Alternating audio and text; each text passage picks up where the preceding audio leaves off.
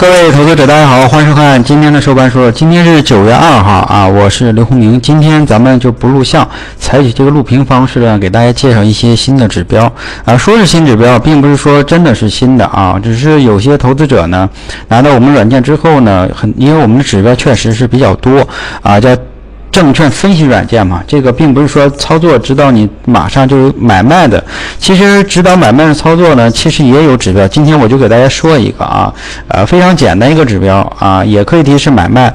呃呃，本来今天我想讲呢，应这个售前售后要求讲这个获利纵横，但是呢，我觉得获利纵横，因为上一期我提到过，还上上期我提到过，啊，下一期我弄一个以前的课件给大家再详细讲一下获利纵横。今天先讲个资金流量的一个指。标，标呃，在了解这个指标之前呢，希望大家对这个软件有一个初步的认识，有一个大概的一个概括。其实你会发现，这个天狼五零软件中指标是非常非常多的，呃，但是呢，应用起来呢，其实我们常用的指标确实。并不多，其实主要原因呢，是因为大家可能是通过我们讲课也好，或者说看微博也好，我们时间或精力有限，而且这个很多渠道呢是不适合全面讲的，啊，所以说呢，很多大家看到常用的指标，可能大盘这边呢就几个啊，大单流向啊，委托比、盘面资金，包括还有一些大单流向的相对值，对吧？还有一些同步系数啊，或者是三大等级指标等等，这些大盘是这些。盘后呢，大家好像。呃，也是受到我的一些不好的影响吧，因为我盘后这个收盘说说老是讲筹码筹码，所以说呢，大家好像以为这个盘后或者说个股这边只有筹码，其实指标是非常非常复杂，或者说非常非常多的。首先说几个几大的体系吧，啊，天狼五零主要的几个大的指标体系，一个是大单大单系列指标，像大单主力线啊，像大单主力线、大单流向。啊，这些都是包括还有盘中的，包括盘中的像这些大盘动力、大单动力啊，大单动力啊，大单动力不是大盘动力啊，大单动力，呃等等这些呢都是大单系列的指标，包括衍生出来的大单流向。大单流流向衍生出来的这个魔方饼图啊，还有大单主力线衍生出了魔牌啊，包括呃还有一些主力线等等啊，大单主力线还有大单动力，包括气质上一些指标我就不多说了，这些都是大单系列的指标。大单系列指标呢，它是采取它是主动进攻盘，主动进攻盘，因为一只个股啊，比如说像这种个股就。你会发现没有被动卖盘，对吧？没有被动卖盘，呃，只有这个被动的买盘，看不到被动卖盘。然后，如果大单呢有呢，是进采取进攻的主动。大单呢会采取会有数据，那市场来说呢，呃，基本来说是有四股力量，一股是被动的卖盘，一种被动的买盘，一个是主动的买盘，一个主动的卖盘，然后主动的卖盘去进攻被动的买盘，然后主动的买盘去进攻被动的卖盘，那么这个在主动进攻这一块儿。中间主动进攻的大资金啊，叫大单啊。主动主动进攻的不是大单还不算，你挂一手是主动买进，那也不算；挂一手主动卖的也不算。所以说大单系列是主动的，所以说大单主力线、大单流向等等这些都是主动盘。而这个被动的卖买卖盘，那就是另一个系列指标，像盘面资金，还有委托额、委托比，这是被动的。那么一会儿我就会讲一下这个盘面资金今天的问题。那么被动的被动的系列，就比如说像啊委托比，还有像委托额、委托额。啊，这个委托额啊，还有盘面资金，这都是被动的，或者说委托的指标，被动的信息，被动被动系标，呃，或者说叫刚才如果大单系列呢，主动进攻型指标，那么这些叫防御型指标啊，也可以，那叫进攻型，这叫防御型指标，这是两大体系。还有其实个股方面还有两大体系，还有两大体系，就是一个是筹码系列，啊，筹码筹码系列，筹码系列包括筹码系列衍生出来的博弈 K 线。量长阳，我所讲的博弈 K 线，博弈 K 线是筹码衍生出指标，成本均线也是筹码衍生出指标，包括获利纵横，呃，包括获利纵横在哪呢？获利纵横，呃，获利纵横、经营筹码等等，这些都是筹码衍生出的指标。所以说，筹码是一系列指标。那么除了这些之外呢，还有一系列指标叫资金指标，资金系列指标。这个资金系列跟那个大单资金和那个盘面资金是不一样的。咱们给大家加进来，先了解一下。呃，一会儿我再详细讲。叫资金流量，哎，当然还有资金存量啊，还有这个流动市值啊，以及流动市值，以前我讲过吧？嗯，这些都是资金系列指标。那也就是说，呃，大体上来说啊，分析股票和大盘这块儿啊，整体来说有四四大体系。这个四大体系中呢，你会发现看盘过程中可能会有些矛盾的。呃，这就是说，因为它所开发的或者说所观察的对象是不一样的，所以说经常有人问这样一个问题啊，呃呃。有时候说说实话，我确实没有回答啊。这个因为问这样的问题也确实，盘面资金，比如说有人说这盘面资金比较高，但是大单是卖出的啊。盘面资金比较高，大单是卖出的，这是不是矛盾呢？经常会有这样类似这样的问题啊。也就是说，如果你要知道这个是两大体系，一个是防御型指标，一个是进攻型指标。它进攻是主动卖出，但是防御确实比较好，这并不矛盾，知道吗？这并不矛盾。那么。如果你再知道了筹码系列，筹码系列是什么呢？是判断投资者的一个成本以及这个庄家的一些动向的这样一个系列指标。那么今天讲的这个资金系列指标，资金流量、资金存量、流动市值等等这些资金系列指标呢，它是通过量价关系反映一个趋势。比如说资金流向，还有一个资金流向非常简单的一个指标。资金呃流动市值我就不说了啊，以前说过这个问题。然后资大盘后面有一个叫资金流向，这都是资金系列的指标啊，这都资金系列指标。然后如果要是把它呃看上证指数的话。上证指数资金流向，你会发现非常简单，资金系列指标都有一个统一的一个用法，就是红色和绿色，红色买，绿色卖啊。那你如果要是这样的话，我们看到这是一个交叉的一个，它的交叉的呢，也就是说这个一个叫资金流入，一个叫资金流出，然后呢，它有呃，其实 M F M F 就是我今天要讲的资金流量。啊，M F 就资金流量，那么两条线，一个是流入的这条线，资金流入这条线，一个叫资金流出这条线。如果流出的这条线上去，流入这条线下来，这是不是死叉呀？这时候显示为绿颜色，那就是应该卖出。如果变成红色啊，变成红色的时候，然后资金流入大于流出的时候，那么就会变成红色，这是不是应该买入啊？哎，如果以此类推的话，你会会发现，呃，这个指标会把所有的趋势啊，你看这个红色。的把所有的趋势全部所有的，咱们看啊，所有的趋势基本上红色的在这儿，对吧？所有的趋势都，然后调整的时是在这儿，对吧？然后买入在这儿，基本上买入，然后卖出的是在这儿，对吧？当然这也有红色的，这是买入，对吧？然后卖出呢是在这儿，对吧？但是呢，趋势型指标有一个。最大的一个缺点就是什么呢？最大的缺点就是滞后。哎，一定要知道啊，这个资金系列指标趋势非常非常的完美。如果用它讲事后来讲故事，非常非常的好用。如果要是哦，说实话，如果要是我是是销售销售人员或客服人员售前的话，我可以就用资金流量给你讲，讲的完美无缺，让你所有的股票都能找不到什么缺点。买卖的，呃，如果要随便拿一只个股，你会把所有的个股的买卖点基本能够掌握好，然后呢，获利绝对是比较丰厚的。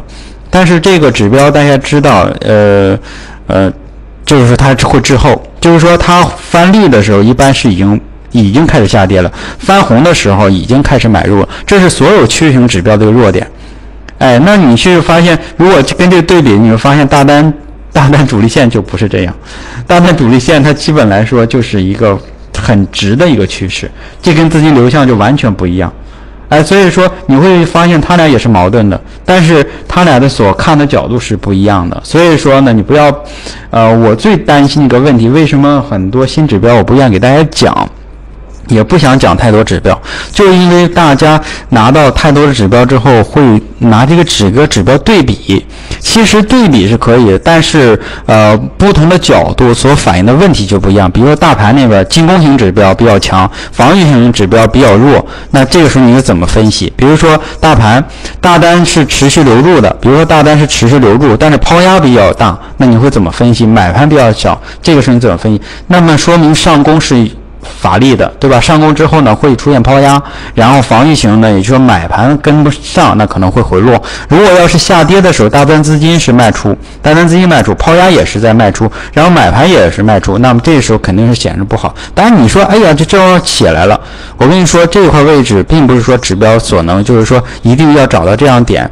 也就是说，很多人分析指标的问题呢，就是说为什么指标拿到手里，呃，会有一些这样那样的问题。第一个就是说，呃，他一定要验证自己的，验证自己的观点。就是如果这个指标不能验证自己的观点，那这个指标就不好，这是一个很大的误区。还有一个呃，大一个误区就是说，要指标把所有的买卖点全部验证出来，那这也是个一大误区。就是说。必须要指标把买点、卖点、最高点、最低点全部找出，这才是好指标。我可以告诉你，这样指标没有，而有的就是这种资金。今天就给你讲这样指标，这样指标买点、卖点都给你找出来，但是它有个最大弱点，操作起来其实非常难办，对吧？那咱们就讲一下啊。那么盘个股这边就没有资金流向了，个股就叫资金流量，就 M F。资金流量呢，你会发现是这样的一个指标，就是。呃，咱们用黑色行吧？黑色可能看得清楚一点。黑黑色底侧方，呃，方案二，哎，这个红色就是资金流入，绿色呢就资金流出。这个柱的长短呢代表流入的多少。那你不要去跟这个大单净流入对比啊。我都知道大家各种各样的问题，呃，大家会有各种各样的问题。你你去跟他俩对比，他俩永远对，呃。不可能完全对上，你要知道这是资金系列的指标，这是大单系列的指标。哎，说填错了，更改，不是大户啊，大单净流入。哎，好，这个大单净流入其实就是盘中的大单流向啊，就是盘中大单流向。如果大单主力线你在，我刚刚那个放在哪儿了？如果添加一个再添加一个大单主力线，你就完全会疯掉的啊。这个七百七百五十日是吧？那咱们调成一日的，那其实就是什么啊？调成一日的大单主力线就是当天的大单主力线的数值，对吧？那也就是说这三个指标你会发现不可能是完全一致的，对吧？那但是你会发现有一有几点是有一点就是大单。净流入，也就是大单流向和大单主力线这个一天的其实是差不多的。你看方向，这一天流出，对吧？这天流出，然后呢，呃，这两天这两天也是流出的，这是数值，然后只是表现形式不一样。这是红色的，然后这是回落，对吧？你看发现它是回落的，这是但是它是绿色的，但它是回落的，它有一个稍微有些计算啊，稍微有些计算。你看这是红色的，然后红色的。红色的红色，它是有个折线，它是用折线反映出来，这是用柱状表现出来，但是它俩差不多，但是跟这个资金流量就完全不一样了。也就是说，我可以告诉你是这样的，呃，大单净流入、大单主力线这个大单系列指标，刚才我讲了，就是主动进攻型的，它是 L 二数据，L 二数据呢，它是真实的大小单，根据真实的主笔成交统计出来的大单的指标，就是它是真是一点点钱敲出来的。它是一点点钱敲出来的，那么你说，但是资金流量呢？不是资金流量，所谓的这个资金流入流出，它其实是价格和成交量，哎，这是 L 一数据，它是 L 一数据。那么咱们就不看这俩数据啊，不要去对比啊，不要再有这样的问题了啊。这个它完全的角度是不一样的，就看你怎么去分析。然后呢，呃，我们发现这样一个问题，就是说，如果红柱的时候。你就可以买入这个前面这也是有，这是绿柱。什么是红柱？这是泛红的，这是泛红，只是不是特别大，因为之前这个太大了，把这太大了，把前面的都对比出来。也就是说，呃，最简的一个用法吧，就是红色的时候，红色的时候连续三天你买入，啊，绿色连续三天你卖出。啊，如果这样的话，咱们就可以看一下啊，呃，最近先看最近几天，红红柱红柱红。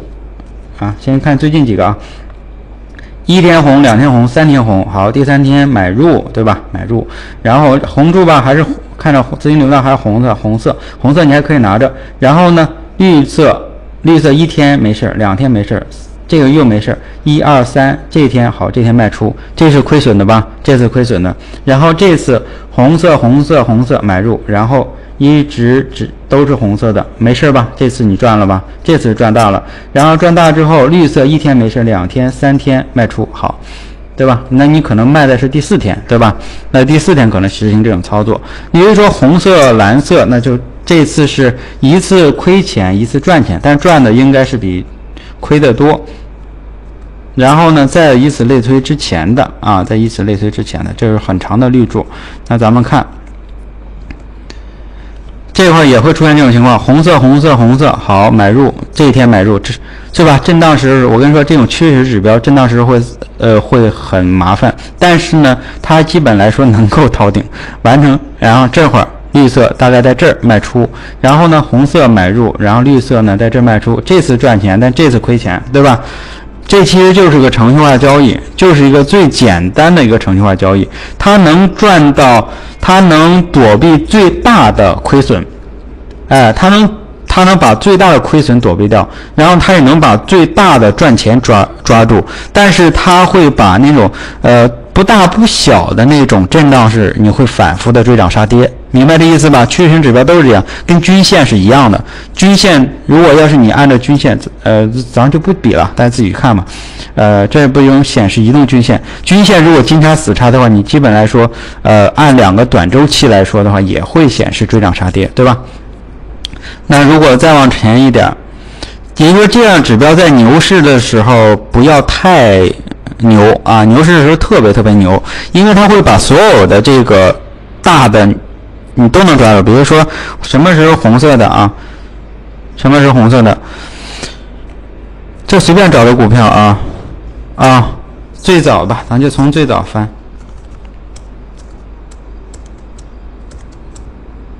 这是一三年，咱们假如说从最牛的时候位置开始，红色红色。对吧？红色，红色，这可以一直买入吧？这个绿的才三天，没事儿，用第四天不用操作就可以，对吧？那这天你卖的话，接着这会儿也能买回来，对吧？然后红色，红色你就一直拿，这绿色只有一天，没事儿。红色，红色，哎，好，到这儿变成绿色了，那这天你可以卖出。那就是说最近的这一次操作应该是从这到这儿，你们发现了吗？所有的大牛市、大牛股中，所有的上涨都能抓住，然后呢，暴跌你也全能躲过去。啊，去暴跌都能躲过去，然后又变成红色了。这天买入，这天卖出，这是有个这块有个小的亏损，对吧？这是小的亏损。然后呢，什么时候开始买入？这块就是买入，然后这个卖出，这短短暂折腾了一下，红色，对吧？如果要是三天红色，一二三，然后这天买入，一二三又变绿了，然后这天卖出，这天追涨，然后这天杀跌，少亏了一点。然后这天一二三四，好追进来，看能不能赚钱啊？追进来。这第四天买进吗？什么时候变绿呢？就在这儿追进的吧。然后绿绿绿，好，在这儿卖。然后这块最大的赚钱你也能抓到，对吧？然后呢，在这儿买进去，这天，然后在这儿卖出，也就是说这块亏了一点。但你会发现，事后所有的买，大家自己去看啊，所有你看。你会发现绿柱这么长，然后你会在这个最开始的位置卖出掉，也就是说资金流量能够你解决一个问题，就是说这个趋势，也就是说跟着这个趋势走呢，最大的牛市能够抓到，最大的熊市能够躲开，但是呢，在不大不小的震荡市中，你会被追涨杀跌，反复的追涨杀跌，这就是资金流量指标。资金流量指标怎么算出来？它就根据。这个价格就股价上涨下跌，这个价格它其实就有个趋势，价格以及成交量反映出来的，所以说就是这样一个指标。这个指标呃有什么特点呢？就是说，就像刚才我所说的，牛市趋势时无敌，震荡市震荡市的时候会很无耻啊，震荡市是很无耻，然后趋势。趋势时候是很无敌的，明白这意思吧？这是资金流量指标，可以把它当为当做一个参考。但是你如果严格按照这个交易的话，几年下来是能赚钱的。但是呢，你就呃，你可能会在几次中呢，就会呃主观的判断然后主观判断一次，你可能就错过一次大的牛市。如果要是在震荡市中会反复的被折腾，你一次错，两次错，反次反复几次错，这我随便举的例子。如果你要去你找那种贵州茅台，可能会非常非常的牛啊，对吧？呃，这就是资金流量指标。当然，这个指标呢，希望大家自己去再摸摸索一下。最后呢，再回答一个问题吧，那就是这个今天这个。格力电器的问题，开盘的时候沪深三百指数和呃深市指数呢，盘面资金多了很多钱啊，这个这就是这个盘面资金影响的，盘面资金这委托额好，大家看啊，大家总会有这样的问题，你看这委买额才一百多亿。呃，开盘时委买额才一百六十亿、一百七十亿吧，但是为什么盘面资金是五千多亿啊？呃，盘面资金它并不是反映真实的数字，明白这意思吧？它是个数学模型，它跟这个委买额有关系吗？有关系，但并不是完全，它是根据一个模拟的一个数据反映，因为会，呃，如果要是委买额的话，你会发现没有任何参考价值。每天的委买额没有太多参考价值，然后还有一个就是说每天的成交量它已经是事后的，你不能分析当天的。那么只有一个介于这个委买额和成交量之间的一个指标叫盘面资金，这盘面资金只有天狼五零有，它是一个盘中能够反映市场中流动性的一个指标。呃，如果要你真找找格力这样的极端的例子，那它可能是失效的，对吧？呃，就相当于涨停板打开跟跌停板打开的时候，这大单流向和单的主力线也是失效的，是一样的。呃，总有这样的指标，你说，呃，总有这样的个股会对大盘造成影响，但是这是没有办法的。你不能说，呃，叫因梗废食吧？你不能说因为一怕噎着就不吃饭，对吧？这样的指标，这样的个股并不是经常有。你说让我们怎么删掉呢？啊，发现这只个股了，然后把它剔除掉。那每天剔剔这样主标怎么剔呢？什么一个标准剔呢？对不对？所以说呢，你用指标的时候就灵活。比如说发现盘面资金，我为什么能够第一时间大家说沪深三百这个盘面资金不对劲儿？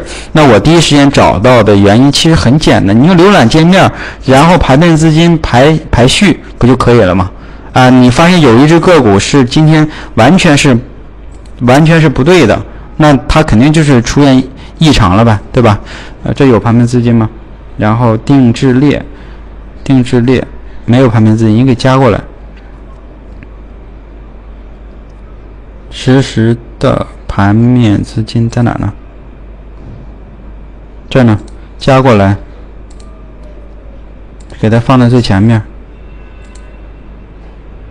那你如果要是你会盘中发现，你看平时的时候这些个股的盘面资金都是二十多亿呀、十几亿呀。那你说这个这只个股有二十几亿的，有人说总说今天的盘面资金怎么那么不靠谱？那就你平时没看或者没有软件的，平时这盘面资金也跟委买额对不上的，不可能对上。还是那句话，如果对上委买额跟盘面资金能对上，那我们为什么要开发出两个指标呢？就相当于大单流向跟大单主力线如果能对在一起，那我为什么要开发两个指标？它各有优点，各有缺点，然后不同的时候你看怎么去分析，对吧？那比如说今天很明显的。一个就是这个谁呀？就是这开盘是格力电器嘛？你一排序，盘面资金格力电器一千多，开盘是五千多，其他都是几百、几十，那显然就它有问题，对不对？这个非常简单一个东西啊。也就是说，说白了就是这样啊。天狼五零软件这个指标呢，呃，初学的或者说刚进。刚开始拿到软件的指标，呃，这个投资者，我们一般会中规中矩的告诉你这个指标是用法，比如说大单流向的单向敏感、双向敏感，怎么判断单边是、震荡式、盘面资金、趋势背离，然后呃，这个一看位置，二看趋势，三看背离等等这些，然后盘面资金盘后怎么看，筹码大概这一些简单用法，但是所有的这些用法。之后这是初级的，中级之后你会发现加入自己的一些分析判断啊，什么是该用这个，什么是该用那个，这是这是中级的，高级的就是啊看一眼啊知道了就完事儿了，并不是说真的要一定要纠结于哪个指标哪个指标究竟哪个哪个矛盾，其实绝大多数像我们也就达到个中级指标，但是盘中基本看一眼就知道，慢慢的嗯。也就是说，指标它是个工具啊。所有这几个系列指标，我给大家最后总结一下：大单系列、呃委托系列，或者说大单系列叫进攻型指标，然后委托系列叫防御型指标，这是两个系列指标，它是不可能一样的啊。呃，还有一个就是资金系列，还有一个就是筹码系列，这是几个常四大系列常用指标，它是分析分时、盘后个股都可能全面的分析，但并不是说你每个指标必须全一样。哎，这是不可能的啊！全一样指标可能，如果都一样都变好的时候，那可能有问题了，对不对？所以说这个大家去怎么理解问题？好吧，今天呃就到这里，谢谢大家，再见。我们下周再讲一下获利纵横吧。获利纵横这用法呢，其实跟这个资金流量有点像啊，有点像。好，今天就到这里，谢谢大家，祝大家周末愉快。